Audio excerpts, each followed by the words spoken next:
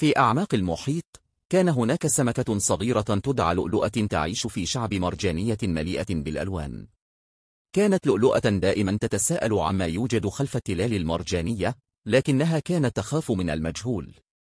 في يوم من الأيام اقترب منها أخطبوط حكيم يدعى عثمان. لاحظ عثمان حيرة لؤلؤة وقال لها إذا كنت تريدين اكتشاف العالم يجب أن تتخطي خوفك. سأكون بجانبك. شجعت كلمات عثمان لؤلؤة فقررت أن تستكشف.